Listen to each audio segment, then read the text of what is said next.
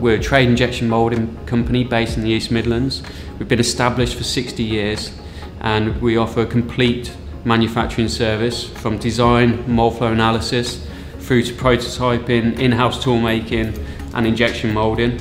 Uh, we have 30 moulding machines ranging from 25 tonne to 1700 tonne, which means we can produce parts that weigh a couple of grams up to parts that are a metre and a half in size weighing 48 kilograms. Being a trade injection moulder, we're quite diverse in, in the industries that we serve. Um, they range from medical industries through to consumer goods and to um, utilities. As a company, we've always been at the forefront of technology and not been afraid to push the boundaries.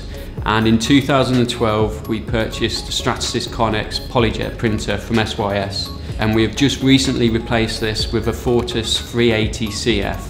We've been working with SYS for six years now and throughout this time we've had excellent customer service and technical support and that is why we've continued to use SYS. Um, the reason for choosing the Fortus 380 CF is because it accompanied the um, introduction that we've just made of using collaborative robots. We spent a lot of time investigating all the new technologies that were available and um, SYS helped with this.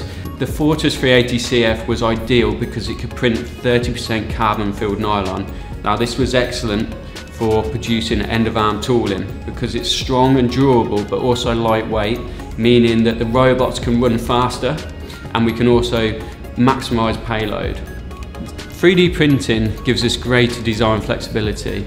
It allows us to design end of arm tooling, jigs and fixtures for their specific purpose and complexity doesn't increase cost. It allows us to incorporate features and mechanisms such as air channels. We can also use the GrabCAD software to pause prints so that we can stop and put components into the actual 3D printed parts such as magnets and sensors and completely encase them. Other benefits include being able to produce functional prototypes, which allow us to check fit, function and cosmetics. This, this is our first introduction into carbon uh, fibre printing and it's become massively important um, to the way that we produce all of our jigs and fixtures and especially end of arm tooling. Up until now we've never been able to offer low volume production parts but the Fortus allows us to do this to bridge the gap from research and development to production. As a company, we don't know what the future holds, but we do know we will continue to invest in new technology to keep us at the forefront of our industry.